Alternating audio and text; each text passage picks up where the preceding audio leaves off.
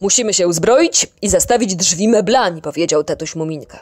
Taka strasznie duża buka może być niebezpieczna. Założę dzwonek alarmowy w salonie, a Topik i Topcia niech śpią pod moim łóżkiem. Ale Topik i Topcia wleźli już do szuflady w komodzie i za nic nie chcieli z niej wyjść. Tatuś Muminka pokiwał głową i poszedł do szopy po dubeltówkę. Na dworze panował już mrok.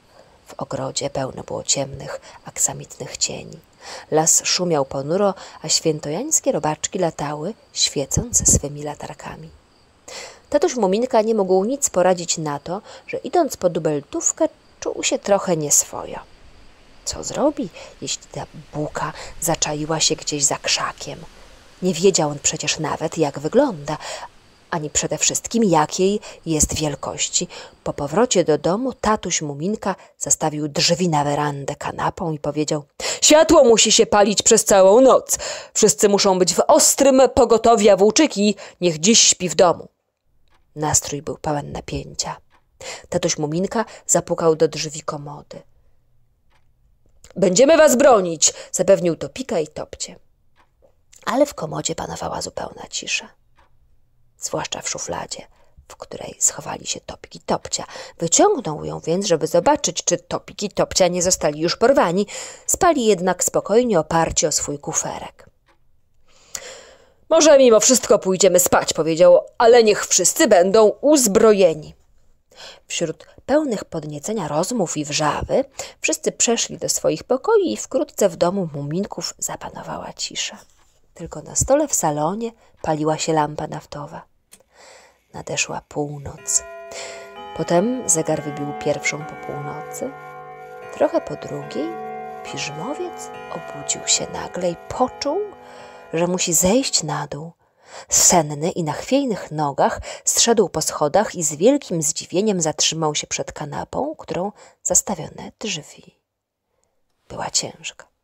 Też pomysły! Mruknął i zaczął ciągnąć kanapę ze wszystkich sił. Wówczas rozległ się dzwonek alarmowy nastawiony przez tatusia Muminka. W jednej chwili dom wypełnił się krzykiem, wystrzałami i odgłosem bieganiny. Wszyscy zbiegli się do salonu, uzbrojeni w siekiery, nożyce, kamienie, łopaty, noże i grabie i stanęli w zdumieniu, patrząc na piżmowca. Gdzie jest buka? krzyknął Muminek.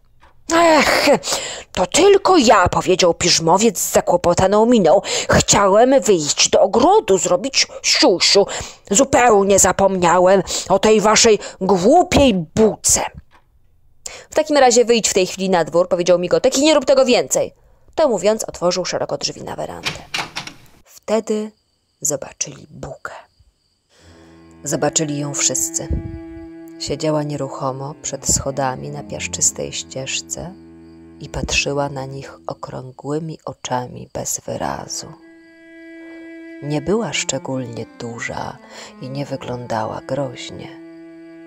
Czuło się jednak, że jest ogromnie złośliwa i że potrafi tak siedzieć i czekać w nieskończoność, i to było straszne.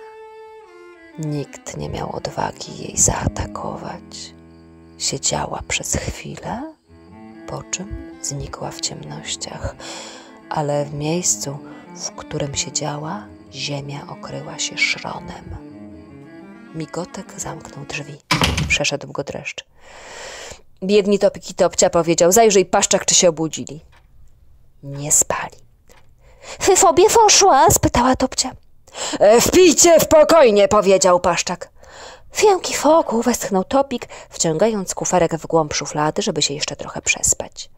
Czy możemy się położyć? zapytała mama Muminka, odstawiając siekierę. Połóż się koniecznie, powiedział Muminek. Włóczyki i ja będziemy stali na warcie aż do wschodu słońca, ale na wszelki wypadek schowaj torebkę pod poduszkę. Muminek i Włóczyki zostali sami w salonie i grali w karty aż do wschodu słońca ale tej nocy Buka nie dała już więcej znać o sobie. Rano Paszczak wszedł zatroskany do kuchni. Rozmawiałem z Topikiem i Topcią, powiedział. No i co tam nowego? zapytała mama Muminka wzdychając. Ta Buka chce im odebrać kuferek, powiedział Paszczak. Co za potwór, oburzyła się mama Muminka, odebrać im jedyną rzecz, jaką posiadają. Tak, to prawda, przyznał Paszczak, ale jest coś, co komplikuje całą sprawę. Wygląda na to, że jest to kuferek buki. Hmm, zastanowiła się przez chwilę ma- mama Muminka. To rzeczywiście była sprawa. Trzeba pomówić z Migotkiem, on potrafi wszystko tak dobrze załatwić. Migotek okazał ogromne zainteresowanie. To osobliwy przypadek, powiedział. Musimy zwołać zebranie.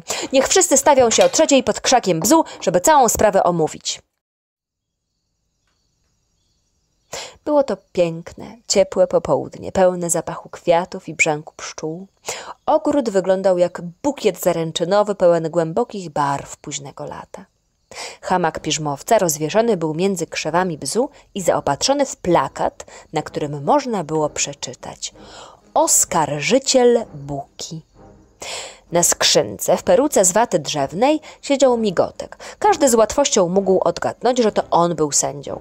Naprzeciw niego, odgrodzeni drążkiem, siedzieli Topik i Topcia, jedząc wiśnie i nie trudno było się domyślić, że znajdują się na ławie oskarżonych. Chcę być oskarżycielem, powiedział Ryjek. Nie mógł zapomnieć, że Topik i Topcia nazwali go starą głupią myszą. W takim razie ja będę obrońcą, oświadczył Paszczak. A ja? zapytała panna Migotka. Możesz być świadkiem ze strony rodziny Muminków, powiedział Migotek. Rodzina Muminków to świadkowie, a Włóczyki będzie pełnił obowiązki pisarza sądowego i spisywał przebieg rozprawy sądowej. Tylko porządnie.